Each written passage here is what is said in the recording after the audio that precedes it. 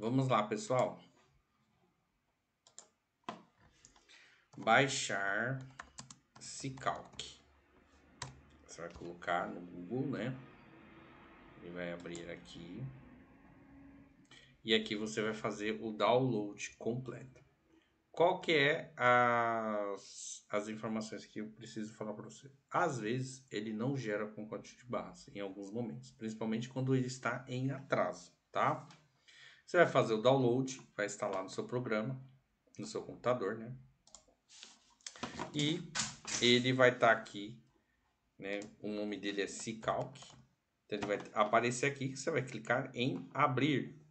Vai ter essa, esse logotipo aqui, né? Ele vai abrir nessa tela, quer dizer, ele vai abrir numa outra tela, na verdade, né? É... Limpar, deixa eu fechar aqui. Então, você vai dar OK. Se você estiver em outro município, é importante você vir aqui em funções, editar, cadê? Arquivo, configurar a impressora. Primeiro, colocar em PDF, tá? Se você não tiver impressora, é, tem que ter um programa de PDF que gera aqui. Então, eu tenho o CUT PDF, Winter. Você pode baixar aí no seu programa. Ele é muito bom para você gerar o imposto em PDF, tá? Se você já tiver impressora, você deixa sua uhum. impressora configurada que ele já vai imprimir diretamente, tá? Então você vai colocar o código do DARF. Qual que é o código do DARF de Carnê-Leão? É esse. Tá certo? E o mês. Então vamos fazer a simulação com o pagamento em dia, tá? Deixa eu abrir aqui assim, né? Para vocês verem aqui em cima, tá? Você vai selecionar aqui, vai clicar no botão DARF e vai colocar os seus dados. E o do computador.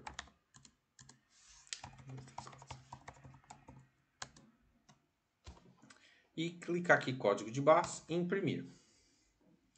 Ele vai pedir para salvar na em algum lugar, você pode criar uma pasta ou na sua área de trabalho e salvar. Aí você vai vir na sua área de trabalho e abrir ele aqui, tá bonitinho com código de barras. Esse programa só serve para isso, para você utilizar e gerar com código de barras. Ele também faz cálculo em atraso, tá? Então vamos supor aqui que você tinha que pagar em 2019. O mesmo valor, vamos aqui calcular novo, né? 0,190. Você vai colocar aqui 2019 e a data e o valor. Calcular. E aqui ele já calcula com multijuros. Então aqui vamos passar para o próximo, que, né, porque tinha um anterior que a gente fez. Você vai preencher aqui bonitinho.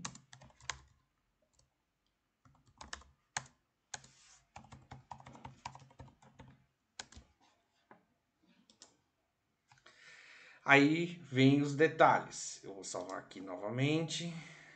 Salvar, substituir-se. Ah, tá. Imprimir. É porque estava aberto. Vou salvar como DARF 9.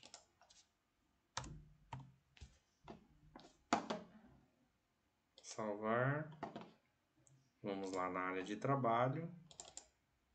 E tá aqui o nosso DARF. Mas você viu que não veio com código de barras. E tem a data de vencimento. Você pode mudar aqui em cima, tá? Todo mês você precisa atualizar este programa. Você tem que baixar ele completo. Então você vai ter que entrar aqui no site e efetuar o download da versão completa para atualizar o DARF. Tá certo, gente? Então assim, chegamos aqui ao final do passo a passo, tá? Eu espero que vocês tenham aprendido, tá bom? É, eu fico muito feliz aí que vocês é, adquiriram o passo a passo. Dia 1 de março eu vou fazer uma aula online. Essa aula online vai ficar gravada para falar sobre imposto de renda ali os outros detalhes, tá bom?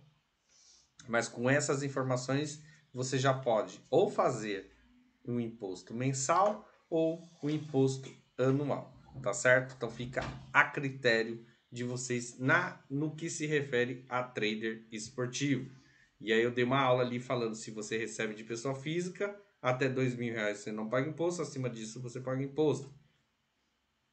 A mesma coisa se você recebe do exterior até dois mil reais você não paga imposto, mas nenhuma das hipóteses é, desobriga você a efetuar a sua declaração de imposto de renda. Você precisa demonstrar, mesmo que o valor não atinja mil, dois mil, você preenche o carnê-leão, depois você vai exportar para a declaração anual e ali sim você vai entregar a sua declaração de imposto de renda. Então, muito obrigado e se tiver dúvidas, a próxima aula que vai ter aqui vai ser a aula online, a gente tira ali na declaração anual, tá bom? Muito obrigado e até mais. Tchau, tchau.